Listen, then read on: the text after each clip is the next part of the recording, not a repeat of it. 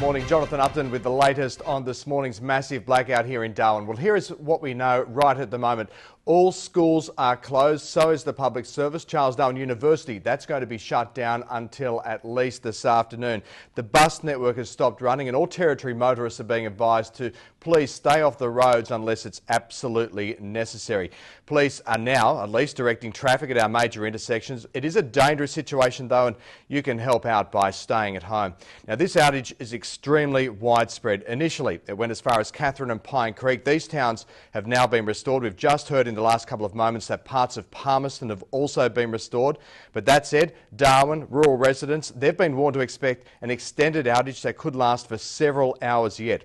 Now, Power and Water has blamed this blackout on a trip circuit breaker at the Hudson Creek substation, which activated a protection system at Channel Island Power Station, and that caused this huge transmission shutdown. Now, 9 News will keep you informed here on Facebook. Of course, we hope to have all the details in 9 News at 6 pm. Hopefully, you'll be able able to see it. And if you've got a news tip on this developing situation, send us a message here on our Facebook page. Good morning.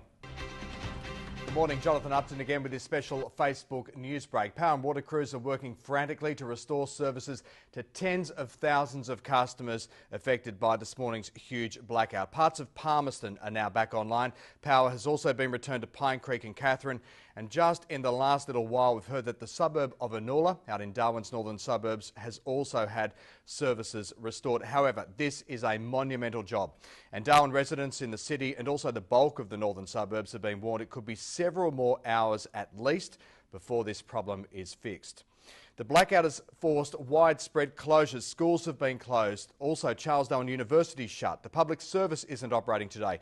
Courts have been closed. Libraries closed. Council pools won't open today. And the bus network has been crippled as well. Most private businesses have been closed, although we are hearing the major supermarkets out of Casuarina Square will be open today. As you can see, one of the major issues today has been on our roads. Scores of traffic lights are out and police have been directing traffic at our major intersections, but unless it's absolutely necessary, you are being encouraged to stay at home. So what caused all of this? Well, the blackout has been blamed on a tripped circuit breaker at the Hudson Creek substation. That activated a protection system at Channel Island Power Station and ultimately caused this massive transmission failure. Now, Nine News will keep you across all of the developments as they happen. Our crews are out there gathering all the details. Hopefully by 6 p.m. you'll be able to see our news here on Channel 9. Until then, keep us informed here on Facebook. If you've got a news tip, please send us a private message. 9 News Darwin here on Facebook.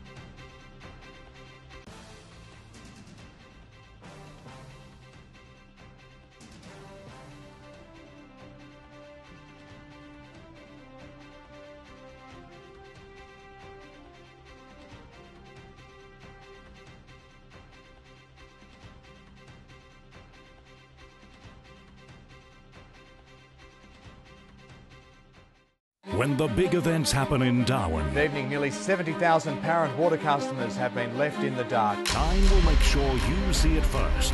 When can we be guaranteed a reliable supply? Turfed out of the hotel at 3 o'clock this morning. I'll just have to find another way home, I suppose. For many, the damage has already been done. We're dedicated to keeping you informed 24 hours a day. Morning, Jonathan Upton again with this special Facebook news break. Nine News, your local news leader.